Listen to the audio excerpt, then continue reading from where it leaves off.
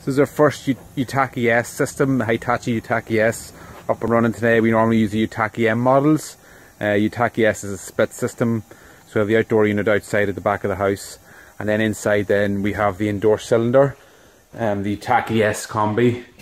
Um, so we can see here that this sits in the utility room, and we look in the controller, we've got the system up and running, circulating pump compressor on, and we just check our info, we have um, outgoing temperature of 23 and incoming 22 and it's on the rise. The heat pump has just kicked in again.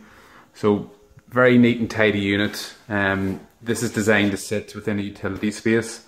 All the pipe work electrical wiring can be above it. So the client can then come afterwards and build his um, utility units around the cylinder. All you'd see then is the front cover of the tank which can be removed for getting um, access to all the parts uh, required for um, servicing or whatever. Okay, thank you, bye.